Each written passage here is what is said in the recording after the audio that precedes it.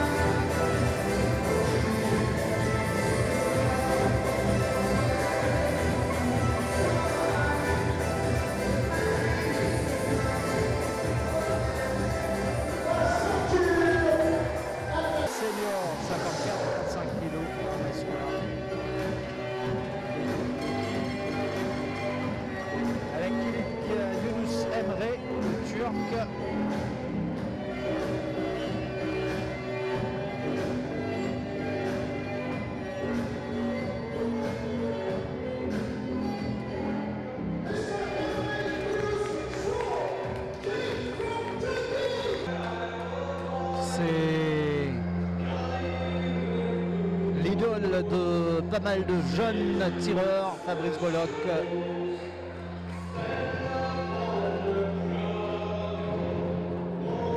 Lui qui a accumulé les titres et les médailles d'or depuis qu'il a démarré sa carrière.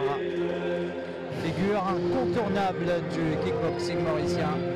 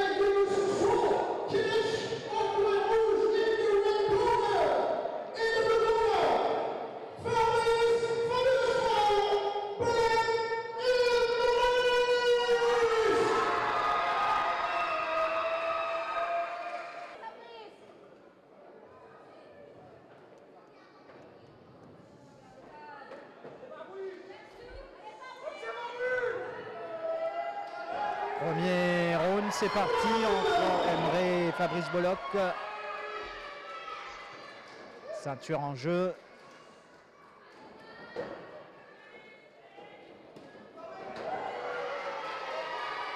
Bollock qui fait parler son expérience déjà.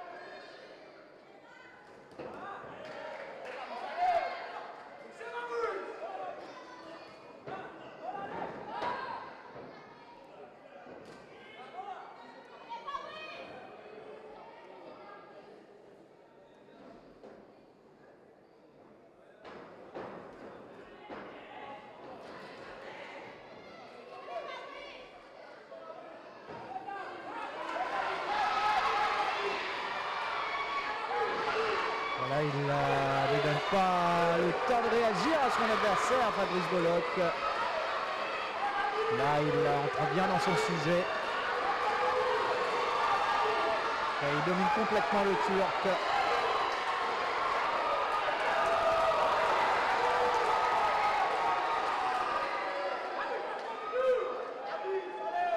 Il reste pour l'instant sans réaction.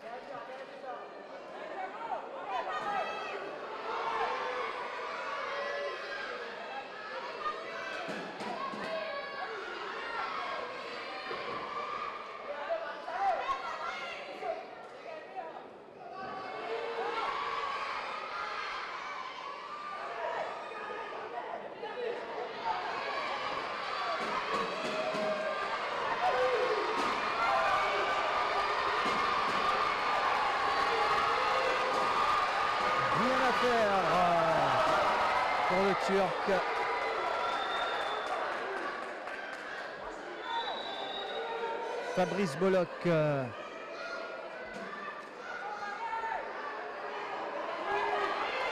semble être euh, trop fort dans ce premier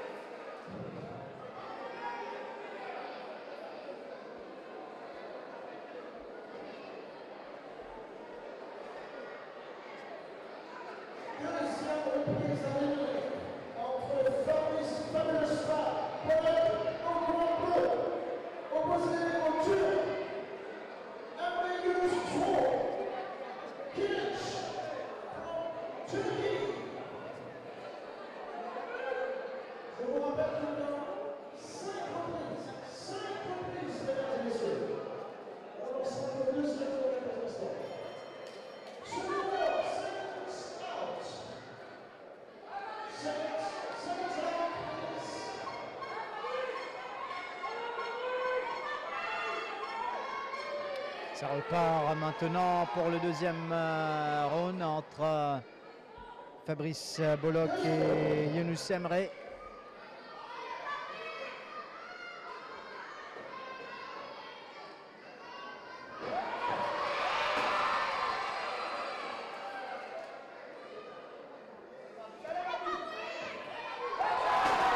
Superbe ici ce que fait Fabrice Bollock.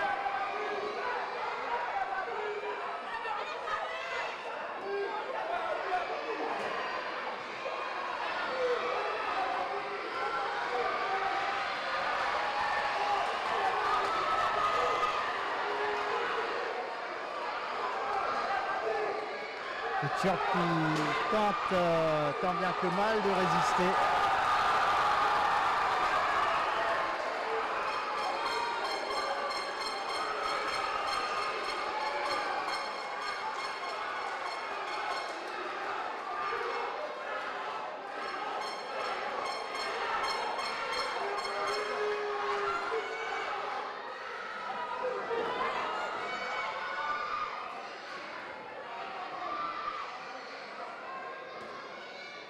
À ce rythme, elle risque même de mettre à KO son adversaire, Fabrice Bollock.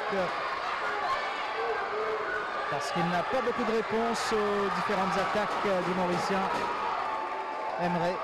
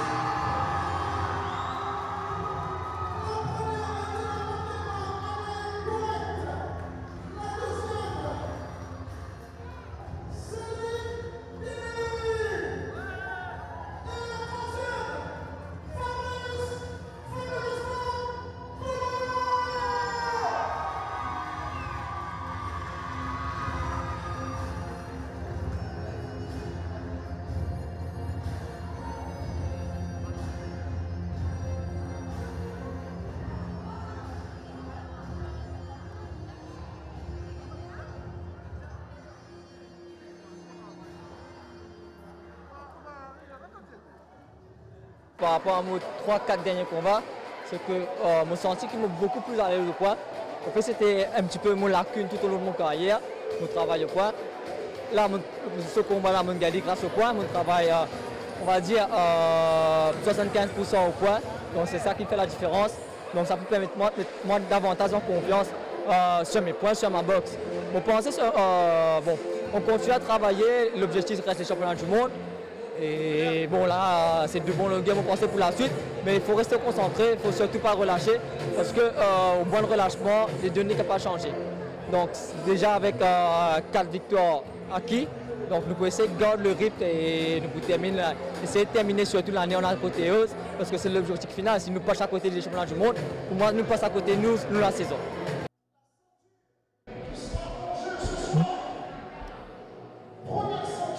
Grand combat ici, ceinture intercontinentale Waco Pro en féminin avec euh, la ceinture qui est présentée justement ici qui sera en jeu ce soir en senior 55 kg entre Toral Oya Buz de la Turquie et Annelle Corrette, la Mauricienne.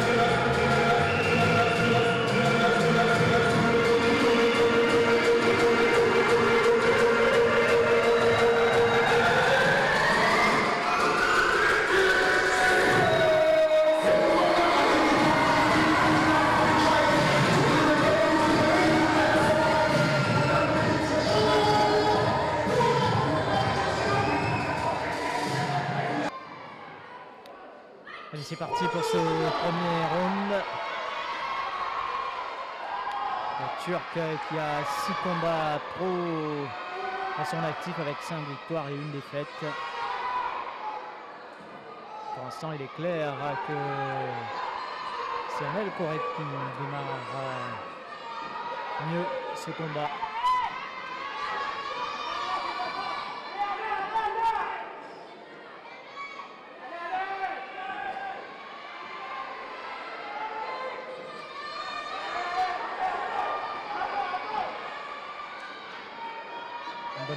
Ici, Daniel Corrette.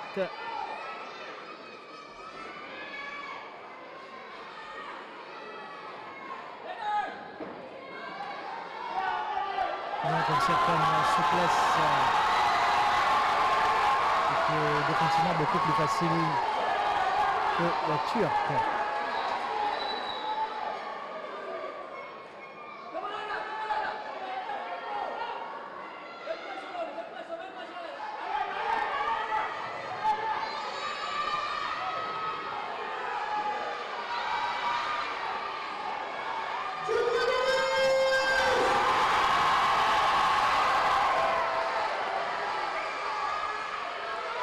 et des encouragements public. Euh,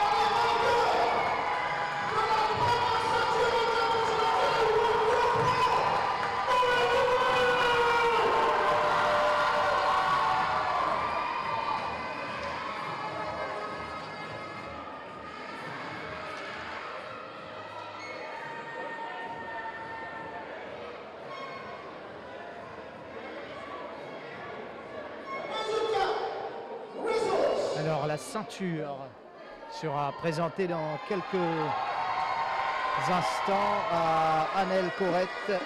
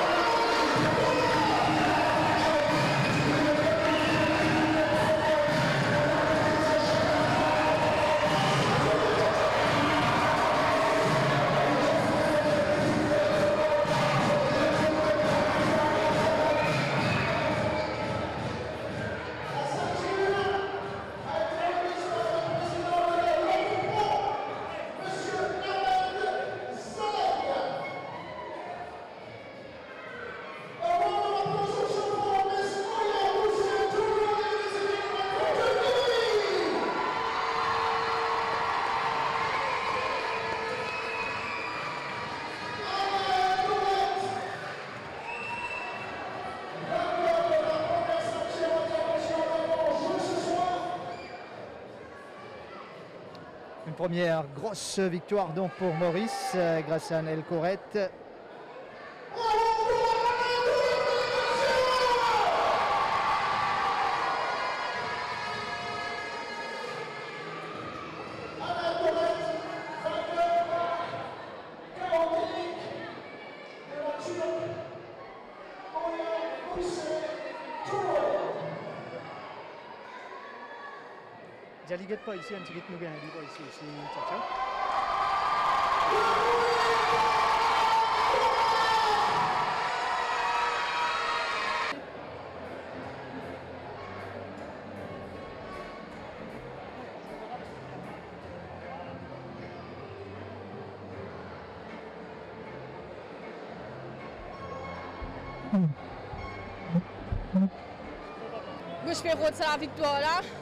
Moi, je suis fait à la victoire là après euh, une médaille bronze à Chucky. Euh, ça combat, combat là, c'était l'occasion pour prouver qu'il en est correct et a potentiel et qualité pour briller. Vous faites une combattre dans pro auparavant? Non, c'est ma première fois en pro. Et qui va un plan d'avenir là hein? Les plans d'avenir, c'est les World Combat Games en octobre et après euh, les championnats du monde en novembre. Qui fait une faire la différence d'après vous dans ce combat là Hauteur ou souplesse?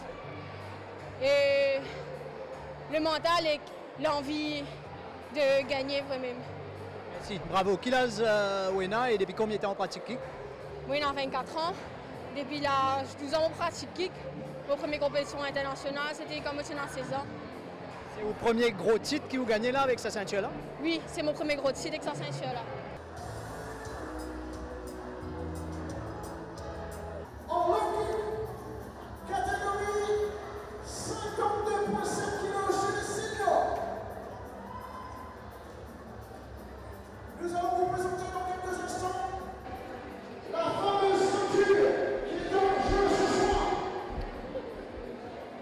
Ceinture Africa Continental euh, Waco.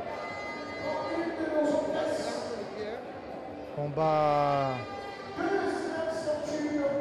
chez les pros. 52,7 kg senior. Ce sera entre euh, Jean de Dieu, euh, Fidel Arson et Cédric Dinali. Madagascar contre Maurice. Avec la ceinture qui est présentée.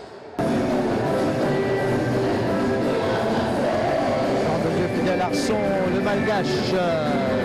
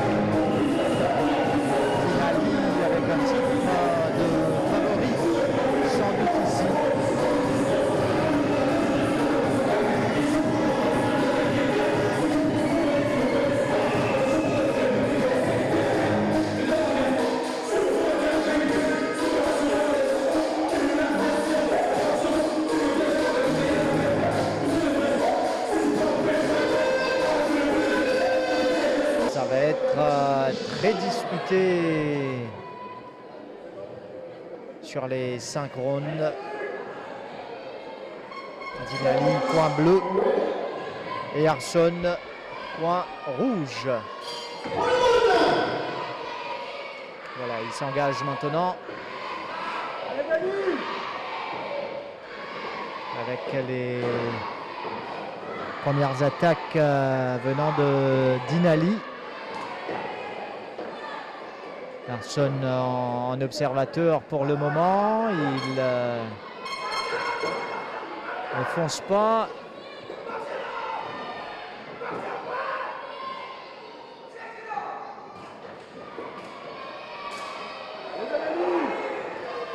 C'est maintenant que euh, le Malgache va décider de s'engager. Dinali il peut attaquer Cédric Dinali. Mais il, hésite lui aussi. Voilà. On va écouter ce que dit euh, son coach, c'est-à-dire de ne pas trop attendre et plutôt d'aller attaquer son adversaire.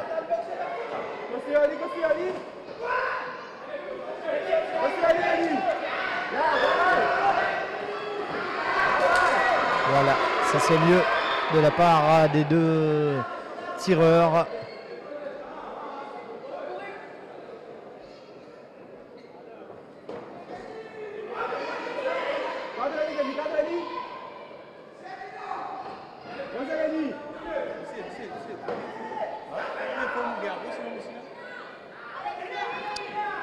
Le premier round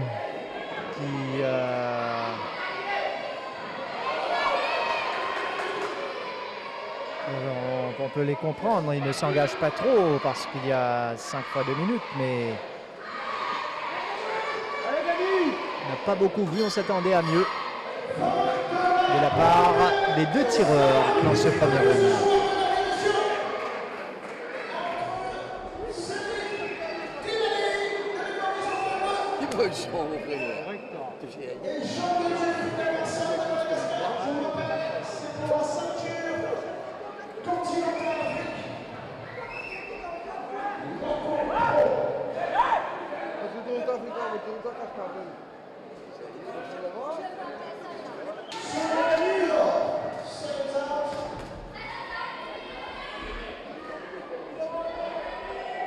Deuxième round dans ce Africa Continental Waco Pro Title, le kick entre Jean de Dieu Fidel Arson et Cédric Dinali. Voilà, Dinali et Arson qui euh, sont beaucoup plus engagés.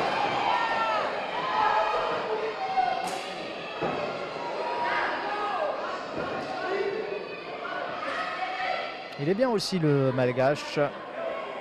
Mais euh, sur le plan technique, euh, Dinali arrive à lui sortir quelques coups euh, intéressants.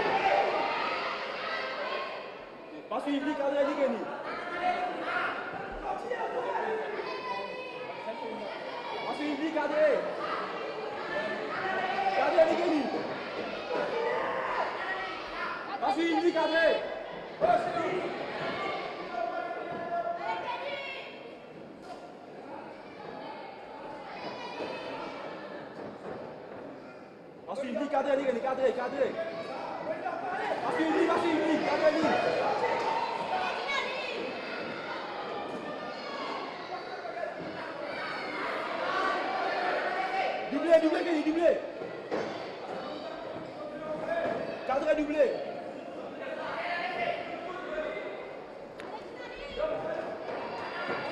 Le Malgache qui fait Allez, Kenny. Doublé, doublé. Venir euh, Cédric Dinali. Peut-être que c'est son plan tactique à lui. Il euh, l'invite au, au combat, il esquive.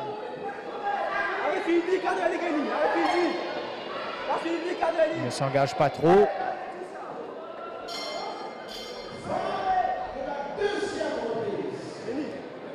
On s'apprête à entamer le troisième round.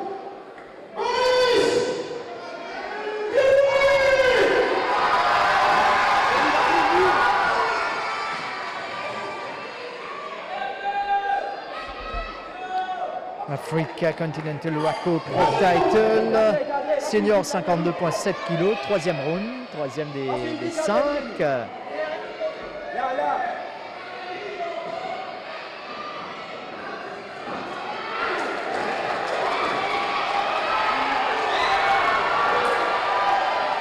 Là les débats très engagés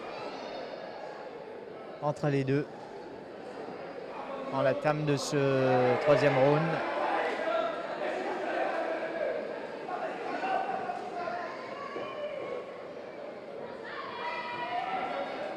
Et ça reprend.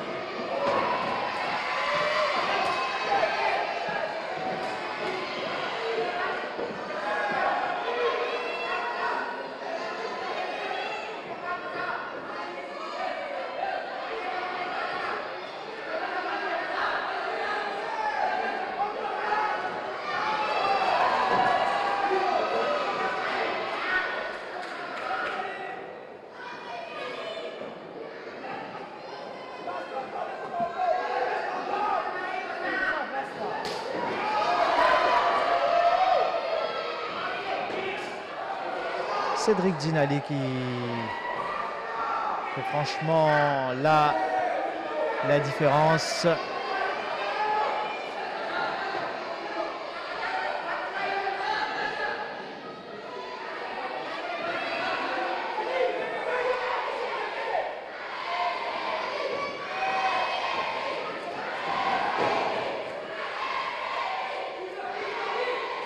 Avec les encouragements du public pour euh, bien sûr le, le tireur mauricien Dinali.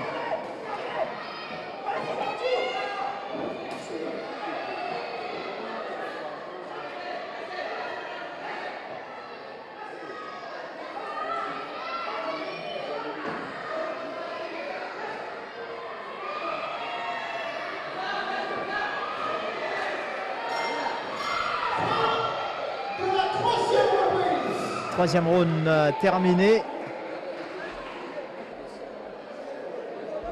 Avec déjà là le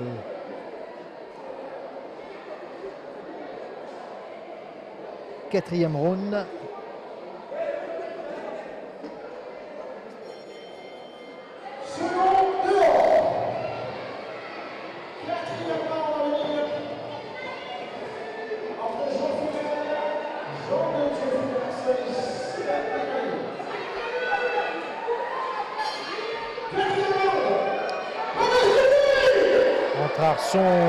Malgache et Dinali. Le Mauricien qui se dispute la ceinture Africa Continental Waco Pro Title.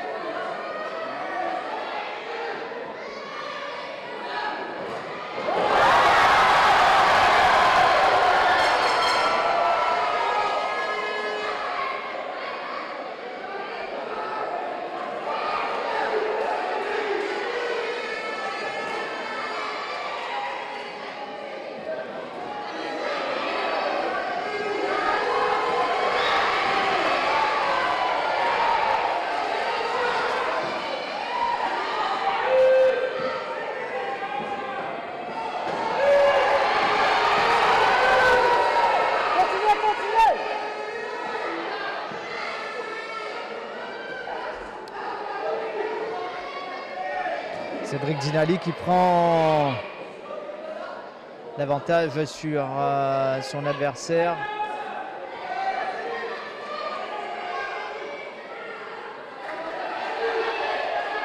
Là, il va, il va faire la différence. Il commence à sentir la fatigue. Il reste euh, le dernier round. Africa Continental Waco Pro Title, euh, pour l'instant, est dans le camp de Cédric Dinali.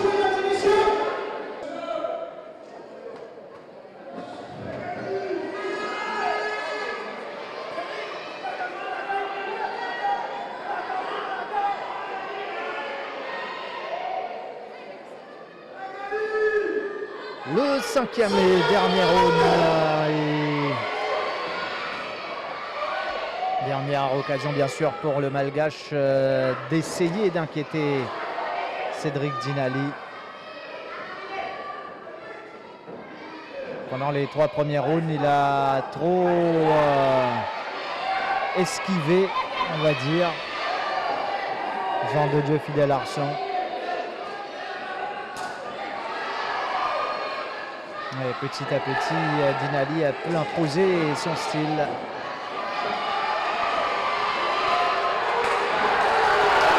Pour finalement,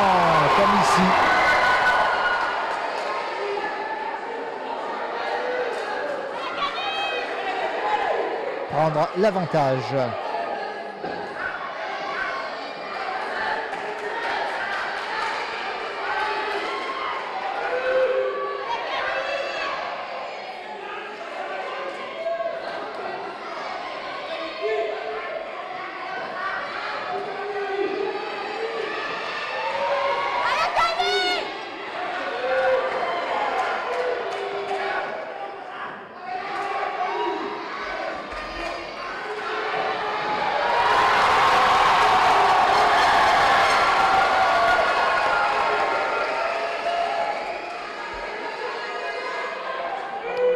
Évident pour euh, Arson dans ce cinquième round.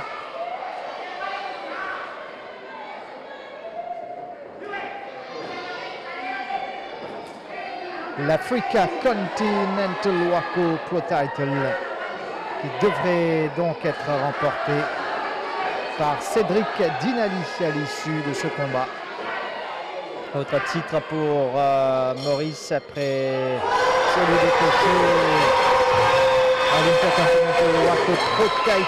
kick par Anel Correct un peu plus tôt par euh, KO Technique.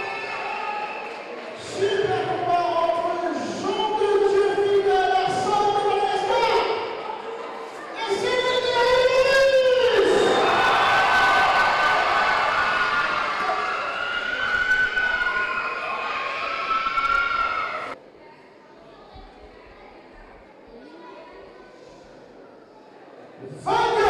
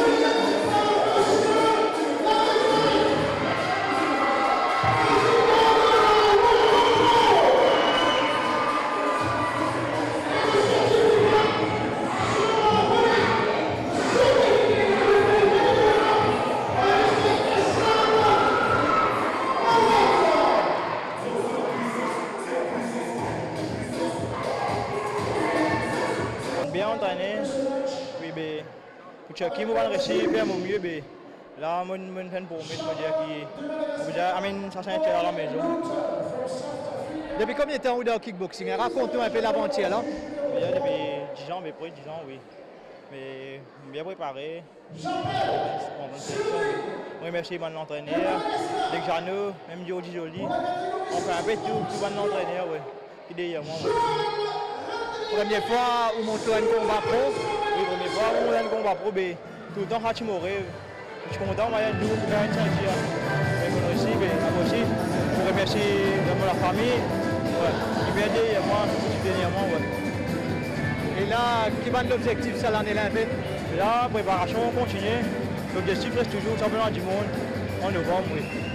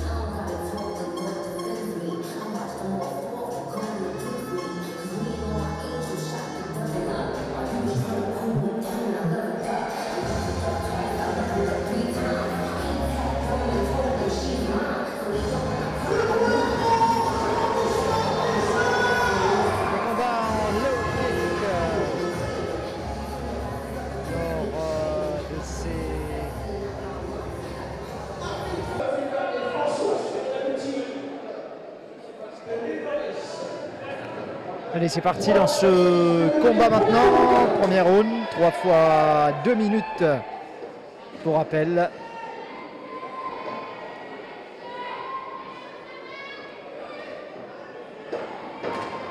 En, bleu.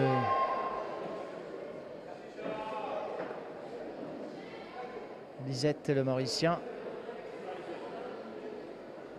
Et rouge, c'est bien sûr le malgache Mostefa.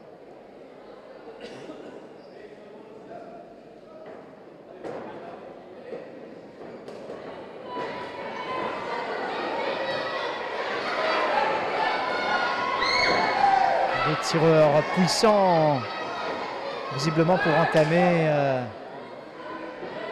ce duel.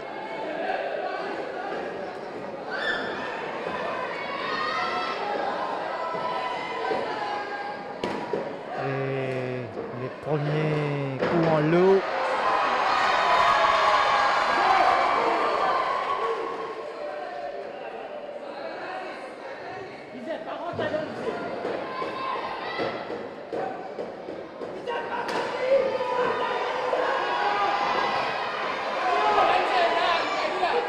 Lisette euh, pour l'instant est sur la défensive. Son coach qui demande euh, ce qu'il attaque plutôt? Et de ne pas trop attendre.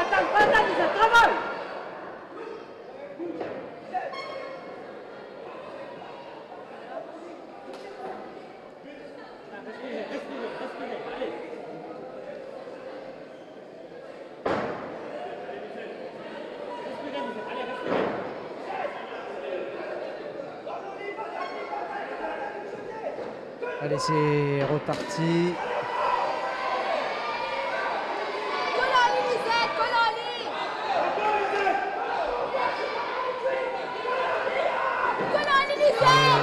Jean-Michel Lisette. euh, il lui est demandé de ne pas donner trop d'espace à Mostefa. Pour l'instant, il entre bien dans son combat. Après une séance d'observation,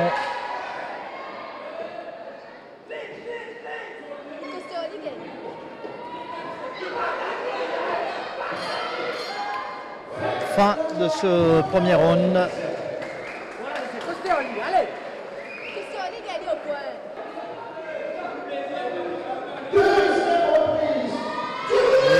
Les tireurs qui apprennent le combat.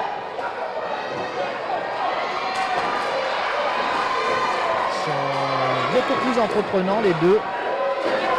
Ici.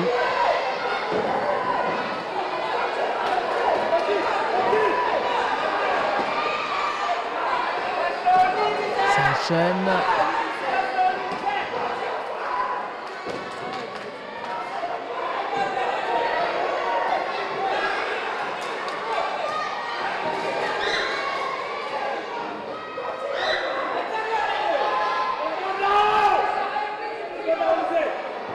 faut qu'il puisse euh, enchaîner les coups.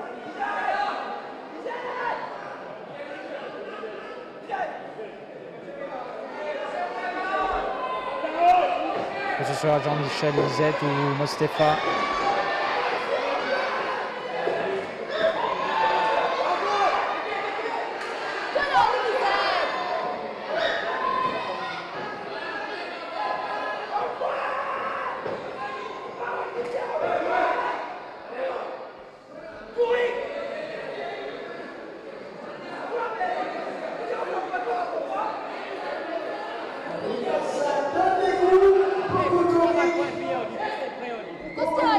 Alors pour l'instant ce deuxième round ne fait pas plaisir au coach euh, mauricien.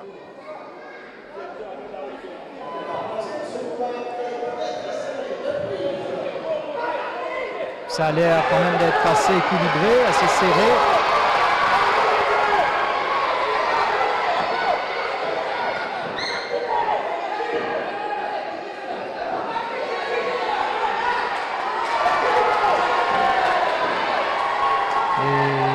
Et Euh,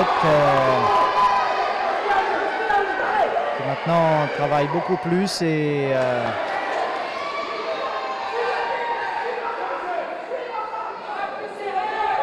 arrive à mettre plus la pression sur euh, l'adversaire malgache.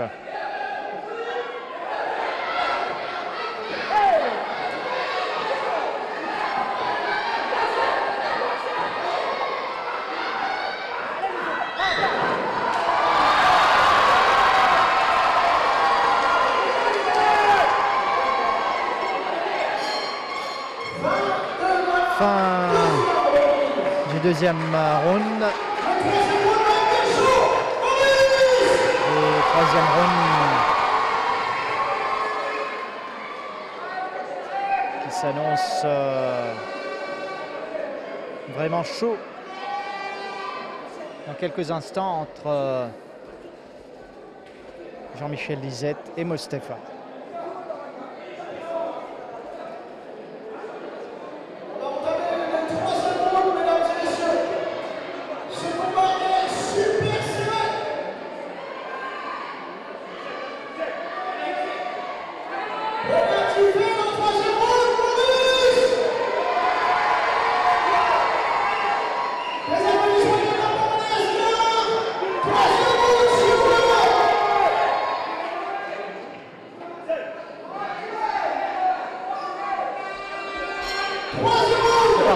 Pour ce troisième round entre euh, Jean-Michel Lisette de Maurice et Mostefa de Madagascar.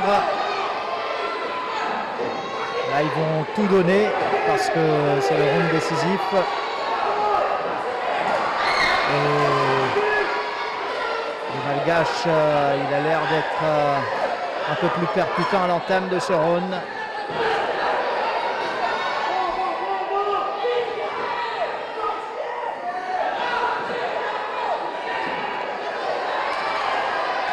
Lisette qui ne laisse plus le soin de, de venir sur lui.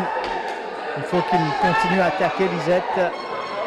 Parce que s'il laisse venir euh, le, le malgache, ça va se compliquer pour lui. Certes, la fatigue se fait sentir à ce stade.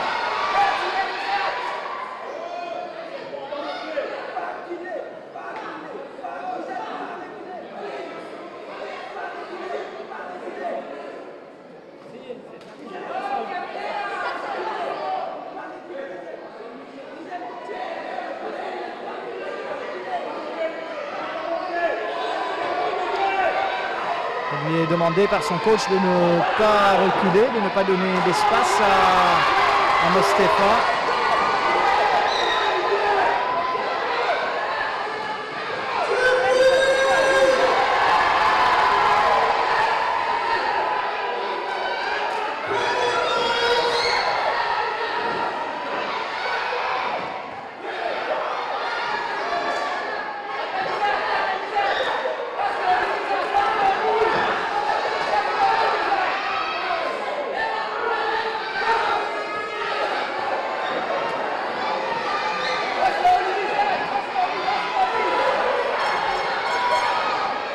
Peut-être euh, pouvoir euh, forcer la décision, Jean-Michel Lisette.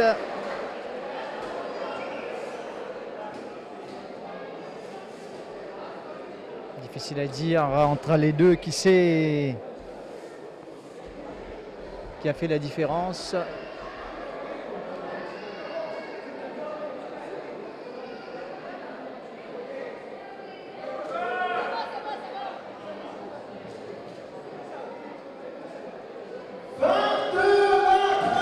C'est terminé effectivement ce troisième round.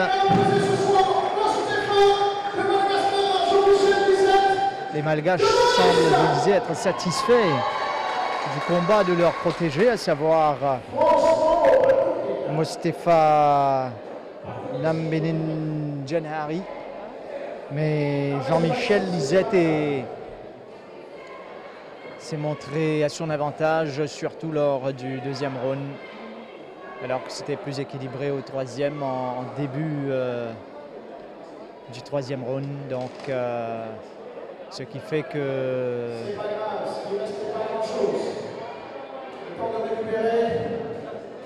ça va être euh, serré visiblement entre les deux tireurs engagés ici chez les 63,5 kilos.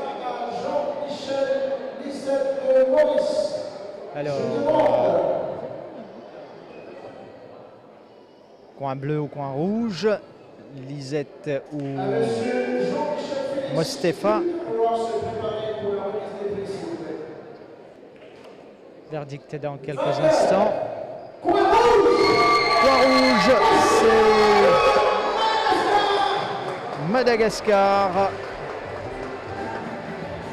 qui décroche euh, la victoire ici chez les seniors 63,5 kilos.